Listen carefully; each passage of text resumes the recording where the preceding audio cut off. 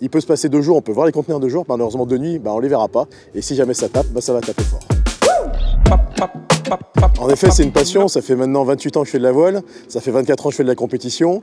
Euh, mon terrain de jeu, étant né en Martinique, vivant maintenant en Guadeloupe, mon terrain de jeu, c'est la Caraïbe. J'ai eu la chance sur les trois dernières années, si on retire l'année Covid, d'avoir gagné les trois épreuves majeures dans la Caraïbe. Donc les voiles de Saint-Martin en 2019, l'année du Canada en 2020 et la semaine d'Antigua en 2022. Moi, ce qui est clairement sur l'océan, ce qui peut me faire peur, c'est les cétacés. On entend beaucoup parler en ce moment d'attaques d'or qui justement qui détruisent les safrans des bateaux. Les safrans qui sont nos systèmes pour contrôler le bateau. Donc si on n'a plus de safran, bah, ça devient un peu plus compliqué.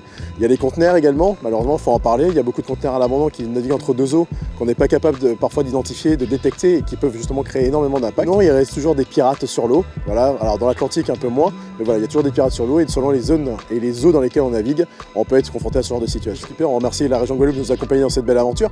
Bah, c'est important pour nous en fait de se sentir soutenir par la région parce que ça montre qu'on a un projet vraiment qui a pour but de favoriser l'économie bleue, l'économie verte de, la Guadeloupe, qui a pour but de montrer également que bah, la Guadeloupe est capable de s'investir avec ses skippers dans de tels projets. Voilà, donc euh, aujourd'hui, si on s'appelle bien des, des routes durable destination Guadeloupe, c'est qu'il y a une raison, c'est qu'on a envie que ça soit, on parle de la Guadeloupe dans tous les sens du terme. Porter les couleurs de la région Guadeloupe, bah, c'est une belle opportunité pour moi de montrer qu'on a un savoir-faire également dans les Antilles, qu'on a un savoir-faire guadeloupéen. Alors, le départ, c'est le 6 novembre à 13h02, mon anniversaire, c'est le 25 novembre. Le but, c'est d'arriver pour mon anniversaire, donc à peu près mettre 19-20 jours pour arriver. Ça serait plus beau des cadeaux que je pourrais me faire.